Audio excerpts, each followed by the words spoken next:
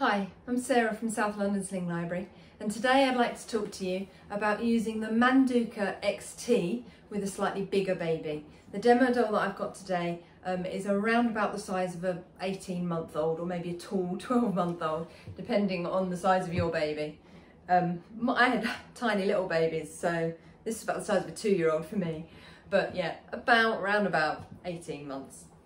So with the Manduca XT I'm going to turn it upside down and hold it by the waistband. At the waistband here, you can slide the body panel along the waistband to make it the right size for your baby. So for a teeny tiny baby, you'd slide it all the way into the middle. Um, it will hold a baby from about somewhere around eight to six weeks, um, six to eight weeks, depending on how big your baby is, um, and up through to around about the age of three, maybe even four, again, depending on the size of your baby.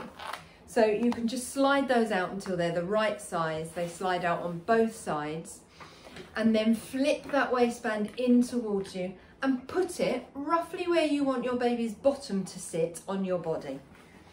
So I'm going to put it just, uh, just below my natural waist, kind of the top of my hips. Um, it kind of depends on uh, the length of your torso and the height of your baby. So it will be different for everybody. There isn't one right place to put the waistband. So it's about finding that spot for you. Now I'm going to get my baby. This is Sam. So I'm going to hold Sam here where I've got the waistband and I'm going to just lift Sam's legs around me wrapped the legs around me so that just like you would if you were just going to carry a baby this size in your arms, um, you would wrap their legs around you because what it does is it distributes their weight around your body more effectively. So if you do exactly the same as you're putting them in the carrier, it just makes it easier to get them in that good position. Then I'm going to slide a hand under the body panel of the carrier and just smooth it up Sam's back. And then I'm going to pop the straps over my shoulders. Right, supporting Sam with one hand, I'm going to take my free hand through the small of my back to the strap on my opposite shoulder. So I've gone underneath this strap to the strap on my opposite shoulder and I'm going to pull that to the floor first. What that does is it anchors it on the bony part of my shoulder. I don't want it riding up into my neck muscles. If I just get hold of that strap and pull it across, what happens is that strap then goes into my neck muscles and will be uncomfortable. So I'm going to pull to the floor first, then bring that strap low around my body to the buckle on this side. I'm going to buckle it in there. I can then, excuse me Sam, mind your hand, pull backwards to tighten. And then I've got a little strap as well that I can pull forwards. That forwards pull is often a slightly easier action. So with the Manduca, you've got both. Use that as your main adjustment, and then that's like fine tuning. And then all I'm gonna do is swap the hand supporting the baby, use my other hand through the small of my back to the strap on my opposite shoulder. I'm gonna pull to the floor first, then I'm gonna bring it low around my body to the buckle on the, on the side, buckle it in, pull backwards to tighten and then, excuse me Sam, find my little strap and pull forwards to fine tune. If I need to, I've then got these on my shoulders as well.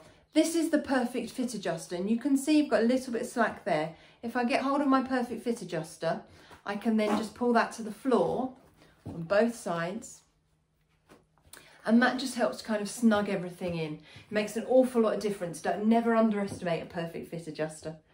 There you go.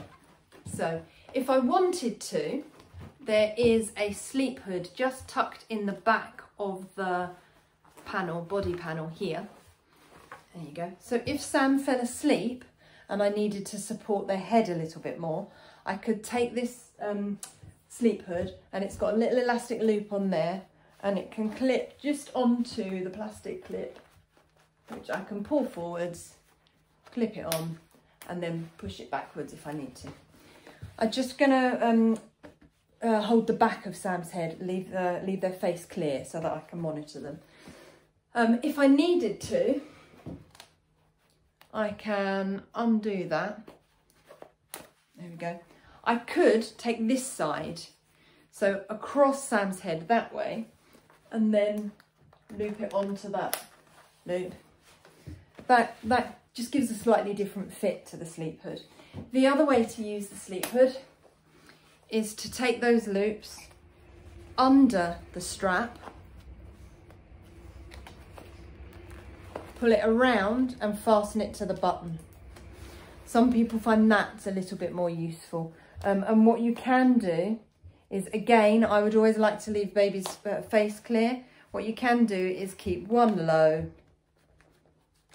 and then use the other one slightly higher up on the strap on that side to do that as well. Oh. If uh, Sam is not sleeping, we're out and about and Sam wants to see what's going on, I can also change the height of this body panel. It's easier to do when the baby's not in the sling, but we can try. If I loosen off, are we loose enough, Sam?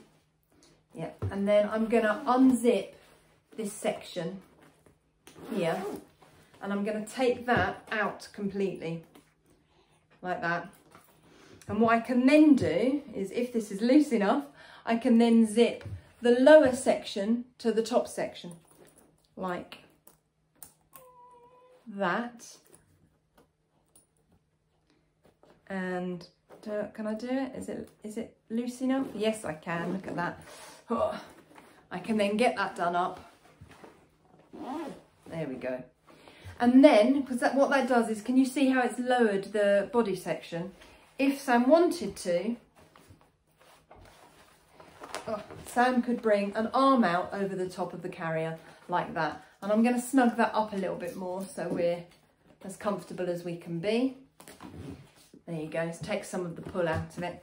Yeah, so Sam could get one or both arms out over the top of the carrier, which allows them to then turn around so they can see a little bit more of, of what's going on. So for example, if we were at an aquarium or at the zoo um, and they wanted to look around and see what was going on, um, then they can do that. So to take the baby out, all I'm going to do is support Sam's weight, unbuckle at one side, swap hands, unbuckle at the other side and drop the carrier down, lifting the baby out. The Manduca XT does a really good hip carry and would literally hold Sam in this position as well if I wanted to, um, but I can also back carry with it. Um, it goes, it fits from about six to eight weeks up to somewhere around the age of three. This most definitely has a lot of growing room left in it, even with, with this one. Um, so yeah, it would definitely have, have options. Thankfully, the demo dolls don't get bigger. Um, they just stay as they are. Uh, if you'd like to borrow a Manduca XT, you can find them at southlondonslings.myturn.com. If you'd like to find out more information about how the Sling Library works, both during lockdown and outside of lockdown, you can find that information at southlondonslings.co.uk. I hope that helps. All the best. See you soon. Bye.